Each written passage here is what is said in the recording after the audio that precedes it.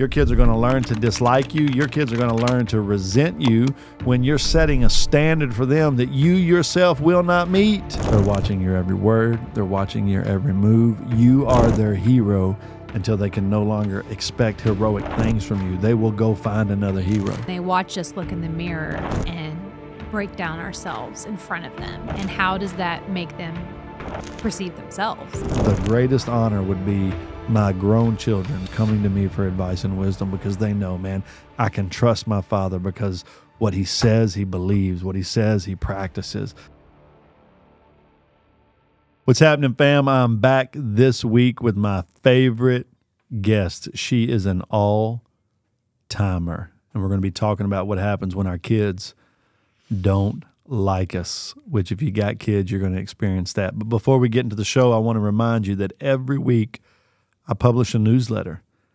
Newsletter has information about the show, has information about upcoming shows, it even has things that we don't discuss in the show. You don't want to miss it. Subscribe at the link below.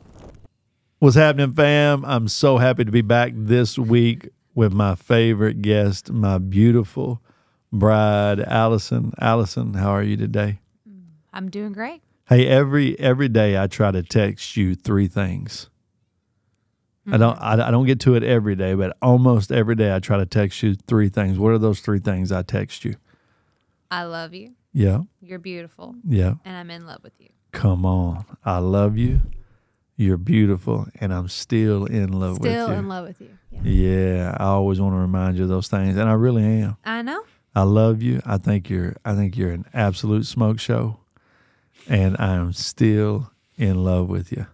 And I'm so happy you've been doing the shows the last few weeks with me. It's been awesome, hasn't it? Yeah.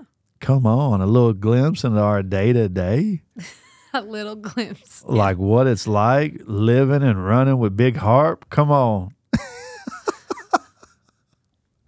so we're still talking about kids this week. We're talking about our four kids, right? We mm-hmm. got four of them. Scarlett Joe. Did I pick her name or did you? We both kind of did. I think I got it though. I think I'm the one that brought it to the table. Okay. Malachi James, who was that? Are we? Re- I don't know. Was that I think I think Malachi was you. Malachi Was it was me. between Titus and Malachi. Yeah. And we thought Titus was super kind of trendy at the moment. Yeah, that was. We no, didn't want a trendy name. No hate if you got a kid named Titus or It's a great name. Green Bean or whatever is trending right now. Um, Calvin, Yes. Calvin John. I came up with it and you were excited about it. I said, Are hey, look at that guy. His name is actually Calvin. Wouldn't that be a great name? And That's you my like, favorite theologian. I know. But remember, you did. I give you that one. yeah, uh, but then you were like Calvin John. Yeah, I wanted Rooster. No, And that was before the Top Gun movie. no, you didn't Just want. clarifying. Hey, first of all, no. Rooster was never in there. It was a it was a it You was a dark horse. wasn't even close. it was a dark horse. And then um, the last one was Oliver. yes. That's 100% you. yeah, because you wanted Bo Cephas. Call him Bo. No. How Texas is that? That's as Texas as the day is long, I babe. said no. Bo Cephas, Bo Yeah. would have been amazing. it would have been horrible. But but but Oliver but Oliver's good. but Oliver's good. What's that? Oliver's great. All of our kids have literary names. Scarlett, Malachi, Calvin, Ollie, man. I love it. Yeah. My favorite thing about one of my favorite things about being a dad is when I come home and they yell and they're so happy to see me. Sometimes when I'm in the driveway, I'm in my truck, like you can't even hold them back at the door. No, I can't. They got to come out because they cannot wait. even the me. 12 year old like even she like yesterday when you were in the car talking to someone she was like knocking on the window like hey hey hey hey I know it. I know it. I love that they can't wait to see me. But I also know that sometimes, and then probably more so in the future, um, they're not going to want to see me as much. Sometimes they might not even like me.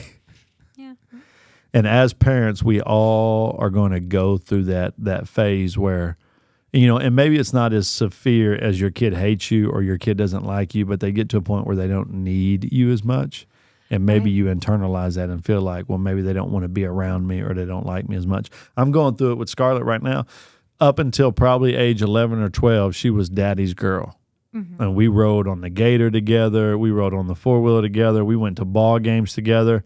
Like if I was going to the store, she would want to go with me. But I've noticed in the last year, she always wants to be with you. Right. I want to go to the store with mom, or I want to stay with mom, or I don't need to go with you, or and that's kind of hurt me a little bit. Well, yeah. I mean, if I'm being honest, right? She's she's mommy's girl right now. Now I've been told like as she gets older, that'll come back around. yeah. Like she'll come back around to daddy's girl. I'm banking on that. Like I don't know if that's scientific, but I'm banking on that because right now she's she's she's vibing with you and Mm-hmm. not so much with me. We're like this right now. right. Well, and that happens. I mean, as a an oldest daughter, Okay. I mean, that's how it was with me and my dad. Yeah. I mean, me and my mom have always been super, super close, Right. um, especially in junior high and high school. Okay. Because that's the person you look up to. That's the person you want to emulate. That's the person that knows all the answers to your questions. Come on. I mean, you can't answer the questions that she wants answered. I don't want to answer all of And them. And then, yeah. And so the same with the boys. Like, That's right. The boys and I are all really close Yeah. in a different way than you're close with them. Yeah, because there's some questions I'm gonna have to answer. Exactly. Hey, And but that's kind of convicting though. Like if she's really looking up to you and you're who she wants to be like as a mom, man, you better be living right. Right. You better be living right. I mean, that's like checking all the boxes, right? Kindness, modesty, right? I see all these I see all these people complaining today about how these young girls dress. Man, look at how their moms dress. Where do you think Mm-hmm. Right. they learn this stuff from? I saw a post yesterday that says um, when they're little, we always tell them how beautiful and how smart and how capable they are. Yeah. But then they watch us look in the mirror and break down ourselves in front of them. Mm-hmm. And how does that make them perceive themselves? Come on. Because the person that they look up to the most is saying, you know, I'm not smart enough. I'm not beautiful enough. I'm not thin enough. Come on. I don't have this. I don't have that. Um, so it is. It's showing your kids who who we are and who we are in Christ is the only way to so that they can see a great example. That's worth the price of admission right there. That's good. I mean, I saw that post yesterday and I thought, oh my goodness, you know, what am I? How am I modeling this for Scarlett, for Yeah. Malachi, for anybody? What I do during the day, how I react, how I see myself. Yeah. Um, do I think less of myself and do I vocalize it so that they can hear that Come on. after I tell them that they're beautiful and that they're kind and Yeah. that they're they're worth every minute of my time. Yeah, in the um in the Better Man curriculum that we wrote, you know, we talk one of the weeks we talk about that as parents, like there are certain there are certain um milestones for your children.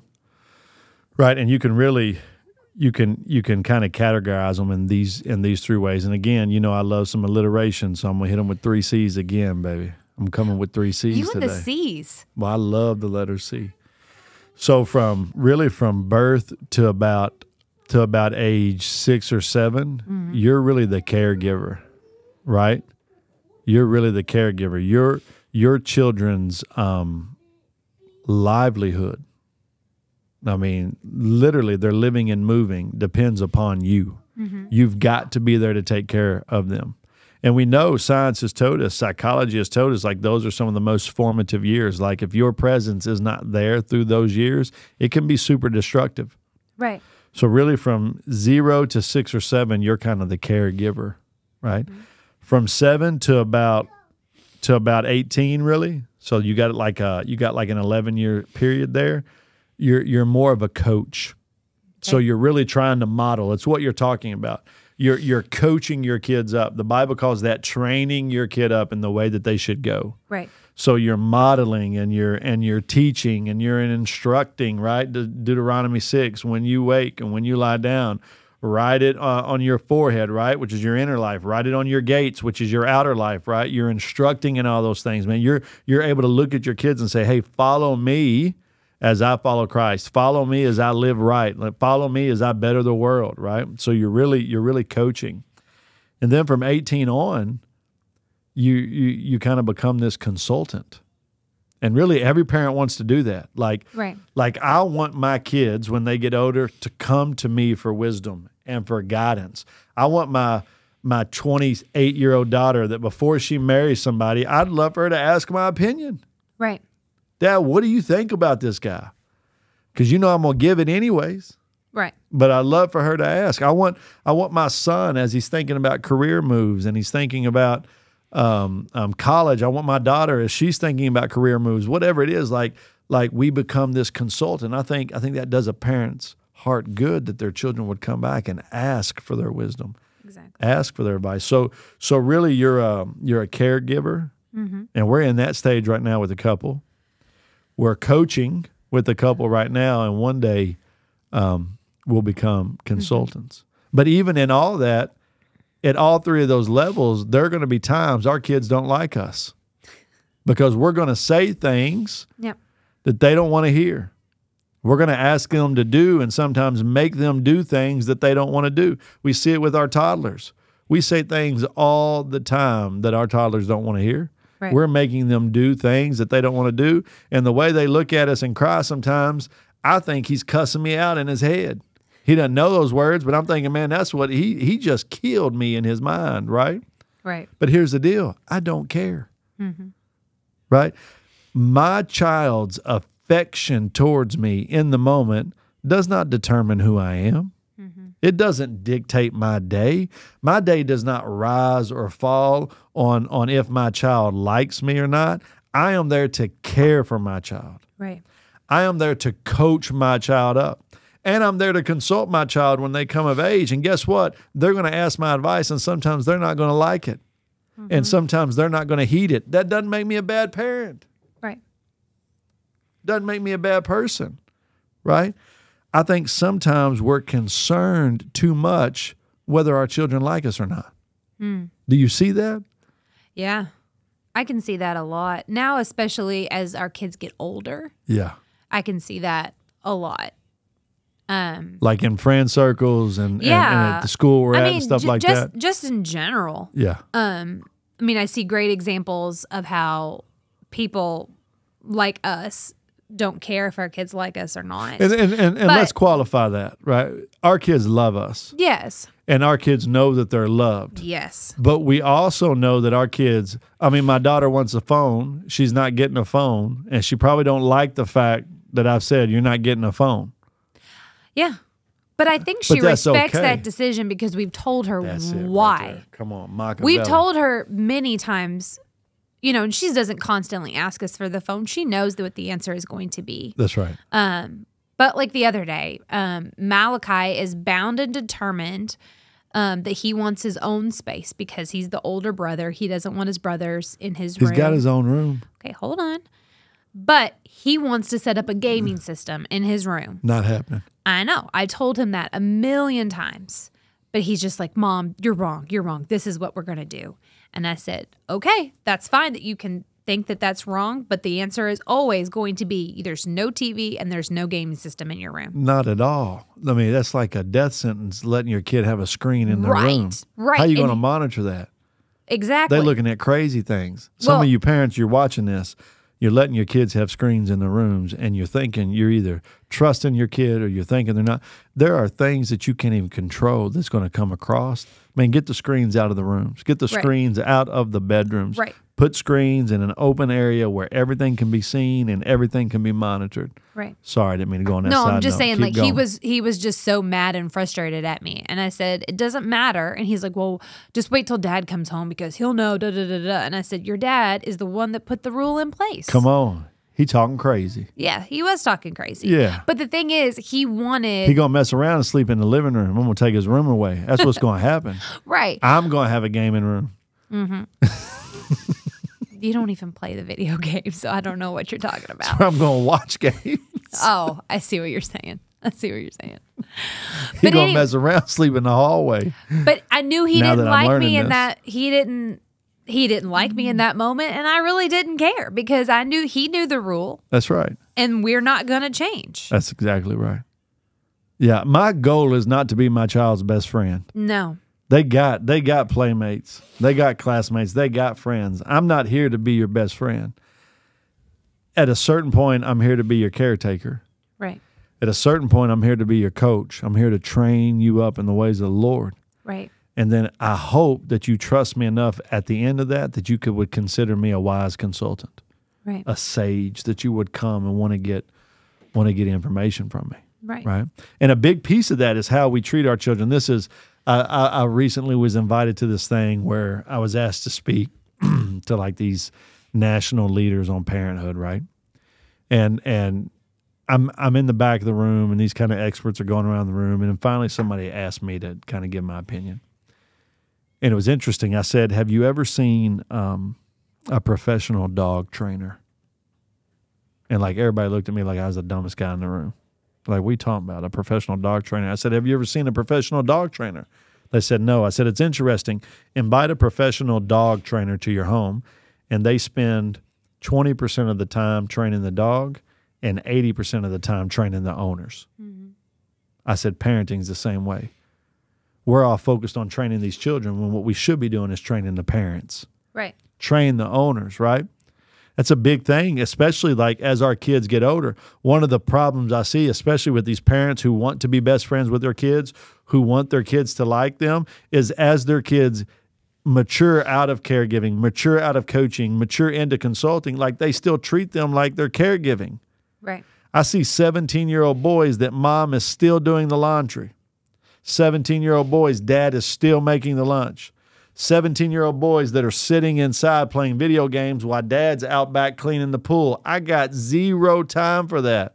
Mm-hmm. No, as you age and as you mature, I'm going to treat you as such so that you can step into that. And guess what? I don't care if I hurt your little feelings. Right. I don't care if I bruise your little self esteem.